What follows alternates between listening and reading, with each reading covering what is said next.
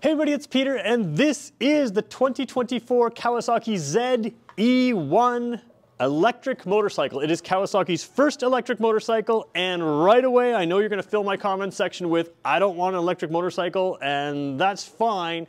I didn't make it. What I am gonna do though is talk about what this is, go through it in detail, and right off the bat, I just wanna point out this is not the electric motorcycle that I was hoping to see. It's probably not the electric motorcycle that most of you are going to want to consider, even if you're considering an electric motorcycle. It is a limited market. And kind of what Kawasaki has done here is while everybody else is still thinking about, talking about, and sort of developing in private their electric motorcycles, Kawasaki has released something that is going to be for the early adopters. It is not a mainstream motorcycle. It is not the motorcycle that I was hoping for, which was sort of that Z 400, Ninja 400, 500 electric version. It's not that. It's slower speed, it's less range.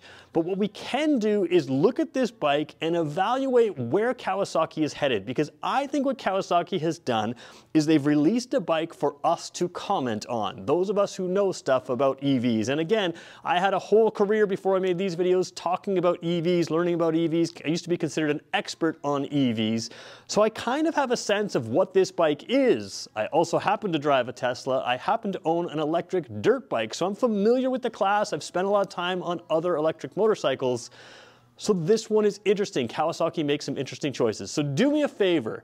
If you're not interested in this bike at all, don't leave me a negative comment. I didn't make it. I'm just talking about it. If you are interested in this kind of thing, do me a favor and help me fill out that comment section and that like section and the maybe even the subscription section of this uh, website by filling those in because we know we're going to get some electric hate for just talking about this but I think it's interesting. So here we are filming at Jim Gilbert's Power Sports, Jim Gilbert's Wheels and Deals, the number one volume Kawasaki store in the country and they've got one of these. These are really, really rare. Someday they will be a collectible because things are going to move at least partially electric, if not fully electric. And electric is going to be an option for people in mainstream brands, and Kawasaki is giving us the first look at it. So we're going to talk about it. We're going to go through it in detail. Let's get going with this review. So before we get to the specs of this and how everything works, which is I think one thing that really isn't online a whole lot right now, I want to just sort of set the class. This is not the very first electric motorcycle. There are lots out there. There's other brands that are out there, and I've driven the main brand that's out there. We won't even mention it right now because I'm not reviewing them right now, but I've driven the main brand. And when I had, actually, I didn't have that. My dad actually owned that one, so I got to drive that quite a bit. It was a lot more like a Tesla, very fast, but it handled fairly poorly, especially compared to the Kawasaki Versys I had at the time. So I was able to jump onto an electric motorcycle and a gas, an electric and gas, and I had, like I said, had a Kawasaki Versys 650 at the time. And the biggest difference I noticed was, although the acceleration on that bike was fun, the handling was not, and it really was not. What Kawasaki has done here has created a very lightweight motorcycle, and that's one interesting thing about electric motorcycles is you can make them fairly lightweight. This is 298 pounds as it sits right now, which is under 300 pounds, which is crazy for a motorcycle. And Kawasaki is known, especially in their sort of smaller lightweight market, think uh, Ninja 500, Z500, Ninja 400, Z400 that was just out. Those bikes handle very well, and this will as well. And that's one thing that Kawasaki has kept. What they haven't done is, like I said, created that sort of Z400, Z500 in electric that we were hoping for. Range on this, according to the Canadian specs, is limited to 67 kilometers. Now, I think you might be able to squeeze out a tiny bit more just based on me kind of reading things, but that's what it's rated for. That's what they're saying. So that is pretty much scooter territory uh, for range. Top speed, about 85 kilometers an hour and it's going to go up to about 101 kilometers an hour for a 15 second e-boost. We're going to talk about all those things, but right off the bat, even though it's not what I had hoped would arrive as the first step, that might be the second step. We can still take a look at what this is. We don't look at a Ninja 400, Ninja 500 and say, why is it not a ZX10? We look at what it is, we compare it for what it is, and you can decide for yourself if it's right for you. So Speed is limited, range is limited, but there's also some interesting decisions. It does have regenerative braking, but they make some decisions about where that comes in that's different than a lot of electric cars. It does have things uh, like forward and reverse, the way it operates, including a walk mode, and the way that operates is different than some other manufacturers are doing. So all of that stuff is stuff we're gonna dig into right now. Let's start at the front wheel, which is what we always do on a motorcycle. We're gonna work our way through just the basic motorcycle stuff and then work our way into the electric motorcycle stuff so you can kind of see what this is. This is gonna be a little longer review because there's a lot to talk about, but hopefully this will give you some information. Let's start at the front. So taking a look at the front wheel here, what you have is something that looks a lot like a Ninja 500 now. I was gonna say Ninja 400, but yesterday I reviewed the Z500, uh, which has just come out. And again, this looks a lot like that, but it's not. So we're gonna talk about a couple things. First of all, the tire size is a centimeter narrower. So it's a 100, I believe, instead of a, let me just look at the specs here. Uh, yes, 100 instead of a 110. So that's uh, two centimeters smaller than a super sport bike, one centimeter smaller than the Z500. And it is something that is going to maintain that flickability in a lightweight bike. The other thing is you have this single disc here that looks similar to the uh, Z500, Ninja 500, but it is also a slightly smaller disc, which is, again, uh, less weight, less speed. It's all the braking power you're gonna need. And really when you compare it to some of the scooters that are around the showroom here, they sell Vespa here at Jim Gilbert's Wheels and Deals and Piaggio, uh, you've got a lot more braking power. So you still have that motorcycle feel as far as handling, as far as braking, but again, lighter weight uh, bike, lower speed bike, doesn't require as much braking. You will see there's an ABS ring in here, it does have that, and uh, standard size uh, shock tubes uh, here, similar suspension travel to uh, most other small motorcycles. So again, Good stuff out front. Let's move to the heart of this bike. So I like what Kawasaki has done here because they generally try to keep this looking like a traditional motorcycle. You don't need this top silver piece here. There's some storage up there. We're gonna get to that. That's all for show, style, and like I said, a little bit of storage. And then instead of having a motor down here, you can see on this Z, again, no fairing, you do have this big box here. So hopefully you can see that box right there. In that box is two batteries. We're gonna talk about them in just a second. Back here is the motor, connects uh, to the back uh, through the chain on my side of the bike, and that's it. So your motor is very small, has plenty of power uh, for what it is. Again, small electric motors, you don't need big electric motors, and this area is used as battery. Now again, it's got quite a bit of room between the frame here. I think in the future you could fit almost another battery in here. It's got two, you could fit a third. There's room to make this better than it is, in my opinion, as far as range and as far as um, um, power goes, power would use more, uh, more power would use more battery, so you could do that. But there's room for improvement here. But what you have right now is very good uh, packaging here to keep the handling in line. Of course, no exhaust on this. That's going to keep the weight down. It's going to help with the handling as well. And it's also going to just keep that really narrow profile here.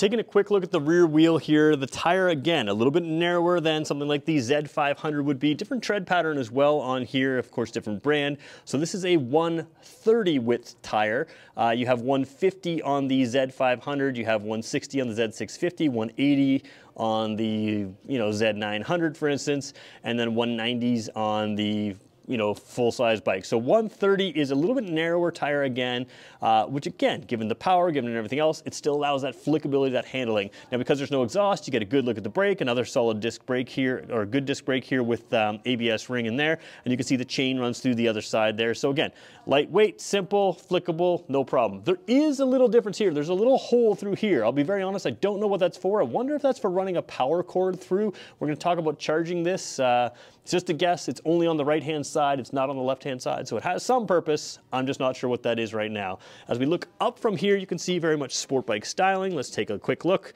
Um, you know, just that typical sport bike styling. Sport bike styling. It is very clean looking and uh, very motorcycle-like.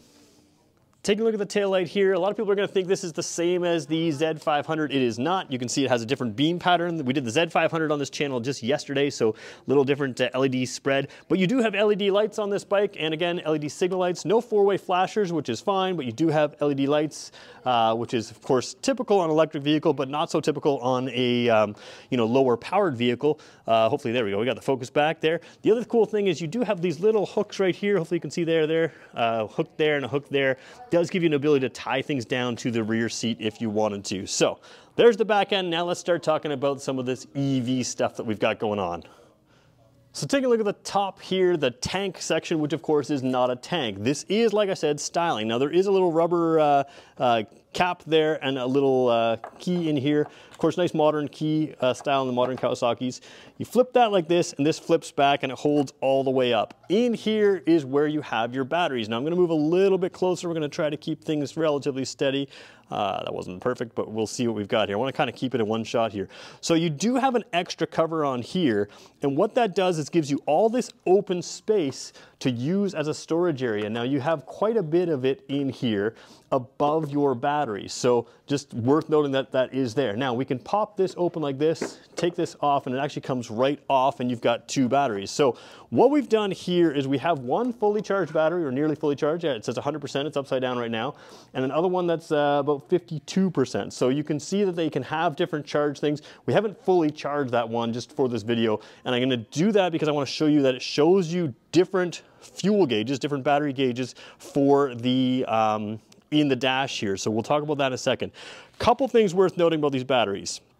They are removable. I can just pull it right out of here, simple like that, easy like that, they come right out. Now they are just over 25 pounds each, so that's why having two of them is nice. You can sort of balance that weight. They're quite heavy. As this bike sits, you have to pull them out to charge the battery um, from just as it comes. You have to pull them each out. You have a single charger. You can charge one at a time. There is an accessory cord that mounts underneath the rear seat, which we'll show you that underneath the rear seat in a second, which uh, does not come with the bike. I would definitely get that with the bike because then you can charge the batteries on the bike. Um, and then they'll charge together. In other words, you're not waking up in the middle of the night switching your charge from one to the other. So to me, that's a crucial thing. I think it should come with this bike. Um, but it is pretty simple stuff. Um, you know, it's very simple. There's no connections. A lot of uh, e-bikes to have batteries will have complicated battery packs that you have to plug in and out. As long as you lift this straight out, uh, it's got the connectors in there. You can put them in either which way. I can spin this around, uh, put it that way, this way. It doesn't matter which side it goes. Uh, you just drop them in and they're connected. If there's a problem connecting, it'll tell you about it. But it's super simple stuff. So that's actually pretty good.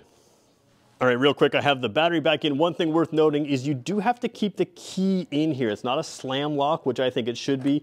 Uh, you have to keep the key in there to lock that. It's just a little T-style thing. Uh, I would prefer slam lock, so just be careful you don't slam it or anything like that.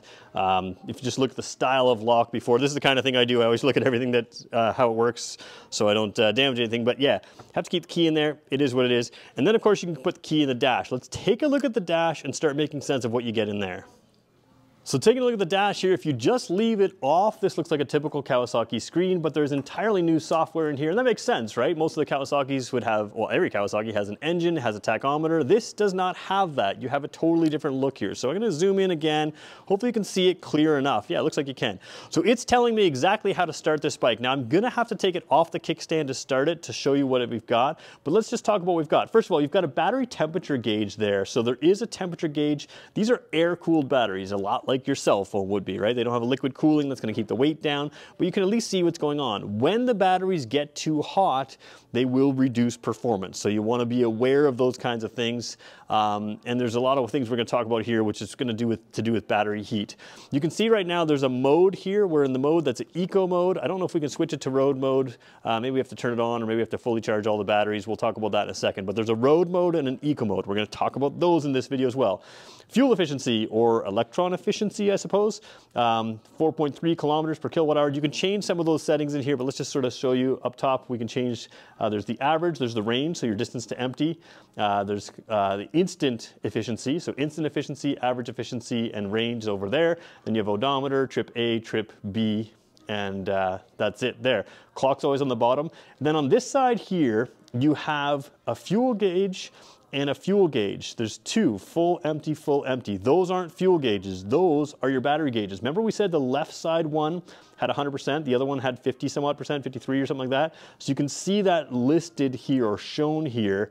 Um, for an actual digital readout of percentage, you have to look at the battery themselves. But if you just want to see the bar graph, which is one, two, three, four, five, six, I don't know, six or seven uh, delineations there, uh, five or so, depends, the E might flash, but the point is those are there. So my understanding is both will drain equally, but again, if you didn't have time to fully charge them, this bike's still fully rideable to a point. Once uh, certain batteries get too low, then it doesn't have the full everything available to it. Now there is a walk mode. I don't think I can show you all that. I think what I'm gonna have to do is take it off the kickstand. I'll try to hold it nice and steady for you um, to show you some of the rest of the modes and how this all works. Because again, this can, be, this can be fully turned on. So we're gonna show you what the modes are, and then we're gonna start explaining some of the complications with this system.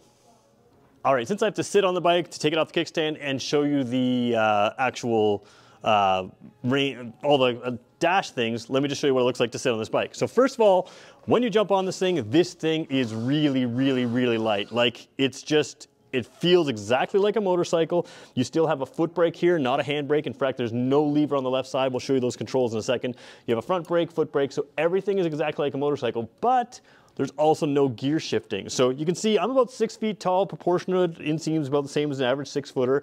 Uh, you can tuck in nice and close to this bike with your legs. You do have that sort of a little bit of a sporty kind of curl to your legs. Fairly upright and comfortable seating position. Again, you're not having a ton of wind push you back because you're not driving 150 kilometers an hour. So the upright seating position is good and comfortable. Uh, mirrors are well placed like and large very comfortable motorcycle feeling uh, riding position here and still fairly low. If you're shorter, again, I'm easily touching the ground. It doesn't feel like the new Z500 or Ninja 500. It does sort of feel like its own thing, um, but it's certainly not unfamiliar if you're familiar with something like a Z500 or something like that. All right, let's try to show you the dash here now. Like I said, I gotta kind of keep it balanced, kickstand up, and we'll show you what we've got going on with the dash.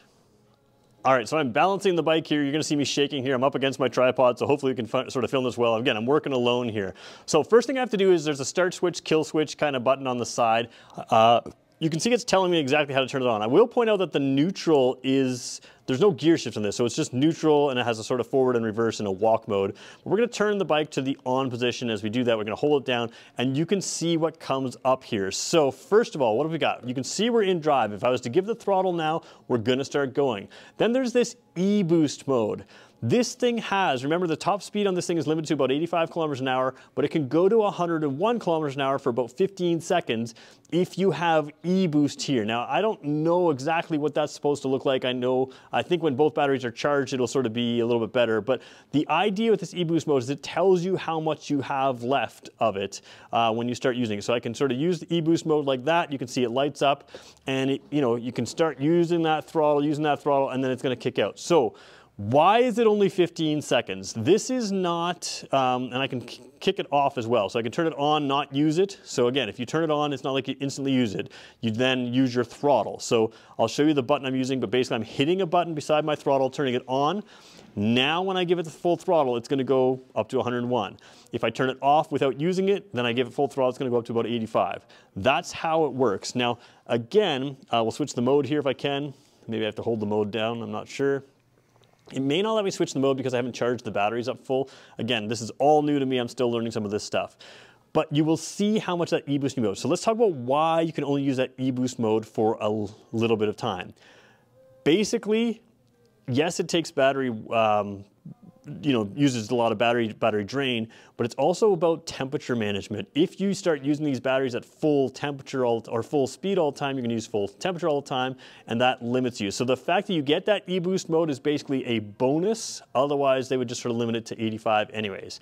The other thing we should talk about is regenerative braking. You do have regenerative braking, but it will depend. Most electric cars, around 90, 95%, they'll turn on the regenerative braking, which means you let off the throttle or you touch the brakes, it will regenerate into your batteries. This vehicle has that, but it's only about 60% battery where it gives you full regeneration. So it's gonna blend it uh, from there. Um, so it does allow you to put some power back in as you're heading down a hill or as you're decelerating, that kind of thing. Uh, but it is something that is, uh, it's a decision, design decision they made to only put in around 60%. So we'll talk about why some of these things as we move a little further in the video, but that's kind of what you got. Let's look at the controls on the handlebars now. I just realized before we show you the, hand, the controls and handlebars, we should show you the walk mode. So the walk mode, I'm gonna hit a control on the handlebar, which I will show you in a second, but I wanna show you what the dash does. You can see it says forward or reverse, F or R. When you are straddled across this, the owner's manual says straddle across this for walk mode. Don't walk beside it, straddle across it. When you do that, you can go forward or reverse. Forward is five kilometers an hour, reverse is three kilometers an hour. To go forward, you roll the throttle on, and again, it'll limit it to five kilometers an hour. To go reverse, you back the throttle off. Again, that's different than some other electric bikes. A lot of other electric bikes, you have to hold some reverse button. Uh, again, it's just reversing the polarity of everything, so it's very easy to do. There's no reverse gear kind of thing. But it is kind of handy, especially if you're in like rougher terrain to walk it back. Do you need it on a 298 pound bike? No, but it's kind of cool to have. So forward again, roll forward, reverse, roll backwards on the throttle. Let's show you all those controls that allow you to unlock some of these modes. All right, left side controls, worth pointing out, there is no gear or no shift lever here. There's no gear shift on the left side. There's no shift lever here, so no lever at all. There is a little trigger right there where I'm pressing my finger. That will do a flash to pass. That's typical high, uh, Kawasaki stuff. Um, that flashes your high beam, gets people's attention if nothing else, or you can flash to pass. Then you got your high beam, your low beam, your signals, all typical standard Kawasaki stuff. So that all feels quality. And then you can see that mode, the section over here. Mode is gonna go drive modes, eco or road mode, and then that walk mode you can hold that down and put in that walk mode. Again, straddle the bike yourself and use it that way. That's how that works. Let's show you the other side controls because it's got a couple unique things on the uh, electric bike as well. So throttle side, the, uh, throttle itself feels very natural, very normal, just like any other Kawasaki bike uh, right now. Again, Kawasaki knows how to make a throttle. They know how it should feel. They've got it blended. Kill switch is right there. Uh, you know, works like every other motorcycle kill switch. I believe that's just actually required by law on any motorcycle anyways. Then you can turn it to the on position, then the start position is combined. Now, a lot of Kawasaki's don't have the start position. Uh, so again, tap it to start while the kickstand's up and the thing will come to life. I think you might have to hold it for a second, but it does uh, come to life. Then there's that e-boost button. So again, that's what's gonna unlock that extra speed. You can tap it to be turned on and then you've got full throttle uh, or full speed for at least 15 seconds or so. Um, and then you can tap it to turn it off. So that's the difference in the controls on this bike. Now let's start talking about the weirdness, the goodness, and the interestingness. All right, so I gotta be clear, this is a new bike to me, and when I get a new bike, I try to get my first video out to you as quickly as I can. I don't study it for a week first, I try to get it out. So this is the only bike I've ever done where I've gotta have the owner's manual out and some information online and some notes that I've written. So let's talk about charge time, because that matters in a bike with around 67 kilometers of range. So charge time is not super quick, because it's not something that plugs in like an electric vehicle with a level two plug. It plugs into the wall just like your cell phone. So when you take these two batteries out, total charge time is about 7.4 hours, which seems pretty slow, but again, they're very large batteries uh, for the type of charging system that you have. Now, it's worth noting that any electric vehicle is going to charge way, way slower at the top. So if you were to charge them together on the bike, you can get 20 to 85% in just 1.6 hours. So that is gonna be pretty good for most people to do their around town running. You're gonna get a lot of that back. It's quite slow charging uh, over at the other end. Now the problem that I have with this bike is it really should come with the attachment piece here. We have to show you in the back here, I'll show you in the back in a second, but it should come with the attachment piece that plugs in here that allows you to charge them on the bike because like I said, you might be charging one battery, as soon as it's done, you have to swap the cable to the second battery. Again, when these batteries are out of the bike, uh, that can also increase charge time. So you're gonna wanna buy the piece that comes in here, charge them on the bike, and if you need to pull them out, you can pull them out and charge them that way. So that's worth noting there. Uh, a couple other things worth noting, let's uh, talk about some of them right now. One thing that's just technically different on this bike that is the same with a lot of uh, electric cars is it does have a 12 volt battery. So even when these batteries are pulled out, you can check things like your efficiency, check things, whatever you need to check, but you can turn the dash on, it will come alive. Obviously it won't go anywhere with that uh, there. Okay, let's talk about a couple other things. We talked about that e-boost mode, that road mode versus eco mode, uh, different speeds and that kind of thing. If you drop this thing to below 35%, its top speed is limited. So 35% battery, its top speed is limited. Um, you know, to now I've got miles an hour here, so we'll have to do the uh, to the uh, combination. Eco mode goes 40 miles per hour. I'm not sure what that is in kilometers. Um, it maxes out uh, in the road mode at around 55-ish or so. So if you're below 35%, you can't go to that road mode. You got to go to eco mode, uh, which limits your top speed and of course eliminates that boost kind of thing. So there is some limitation of your top speed uh, in the lower battery things. And like I mentioned, same thing with the regenerative braking. You've got some limitation to um, you know, full regenerative braking or, you know, coasting down a hill charging the battery, which isn't a big deal. It's not going to do tons of charging, but it does do the charging. It's at 60%. Most electric cars are, uh, you know, 90%, 95 above. If you charge, for instance, a Tesla to full charge, it will not have the regenerative braking as well. So there is that. A lot of interesting quirks in here. Another thing that I've read about this that I can't confirm yet is there is a Ninja version of this, and I've read that the Ninja has a slight little bit more range. So that's going to be an aerodynamic basis thing because they are the same powertrain, same basic bikes and that. But obviously there is some advantage to the Ninja's aerodynamics, which could help with range. Now again, I haven't seen that fully confirmed. Uh, that's going to get a lot more range, but again, it's not going to make a whole lot of difference to a lot of people, but it's worth pointing out that just a kilometer or so or a kilometer or two uh, extra range potential in the Ninja versus the Zed. Now, the other thing worth pointing out is these electric bikes, while they're very limited, there is also a hybrid bike that uses some of this technology, and that is not going to be a limited bike at all. It's going to be something that gives you like 250cc fuel efficiency if you wanted it, but it's going to give you liter bike performance if you want it with the e-boost function on there, and that in-between kind of riding uh, everything everywhere else. So that is another bike that's coming out. It's going to basically blend this with the Ninja 500 motor, and it's going to kind of, you know, fuse that into a bike that I think will be very interesting interesting because it won't just be a hybrid, it's going to be able to run purely on electricity just like this is in around town situations. So there's a lot of things going on with Kawasaki right now.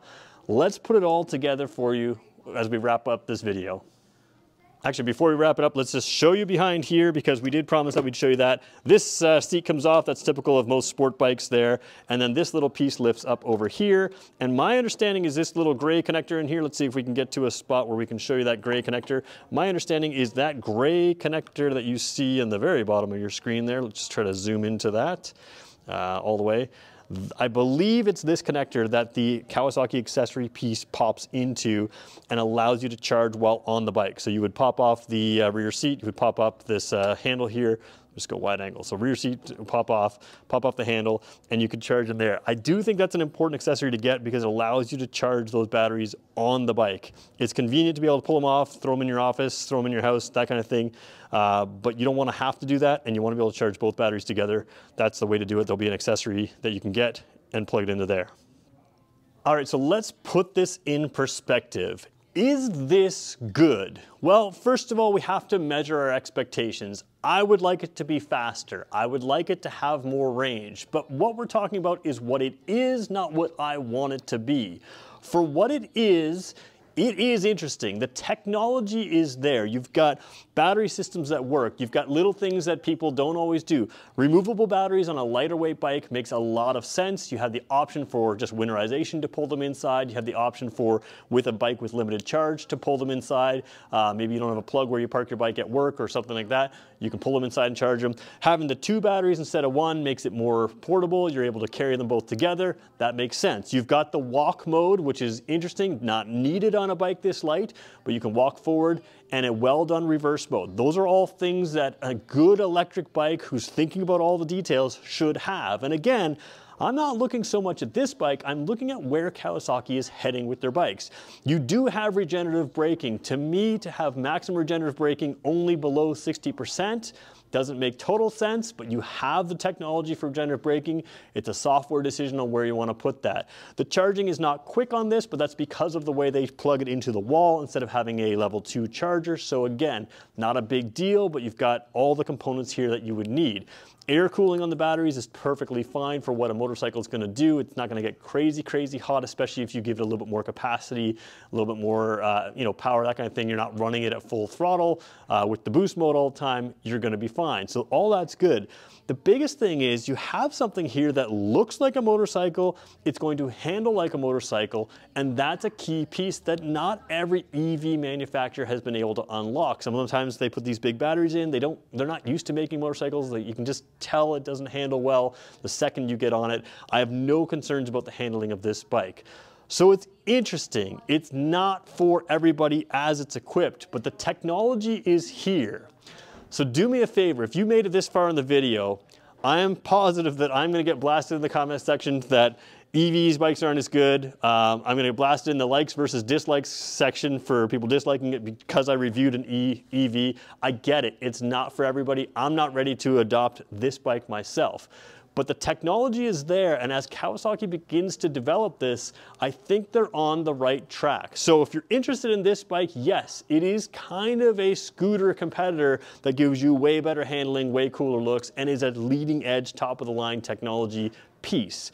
It's a good bike for you. But for the rest of us, the pieces are there for Kawasaki to make something really interesting. And I think now that I've seen this, I'm definitely interested in seeing the hybrid that's about to come out as well, which we will have on this channel, because that is something that legitimately can replace a regular motorcycle if you want to, and it's going to have an EV mode, it's going to have a ton of power, it's going to be something that's really interesting and I can see what Kawasaki's doing here. So again, most manufacturers haven't released something like this. Kawasaki took a risk and released this to the North American market where it's not gonna fit in as well as it does in other world markets but it allows us to comment on it, allows us to give our opinions. So if you have constructive comments for Kawasaki, constructive things of things you'd like to see, things you like or don't like about this bike, let's fill the comment section. Let's see what you have to say about it and we'll go from there. I want to thank Jim Gilbert's Wheels and Deals. This bike is here. They are very few in Canada. If you are into this thing, absolutely it's here. You can buy it. You can take it home yourself. There's going to be a Ninja as well, I believe, here.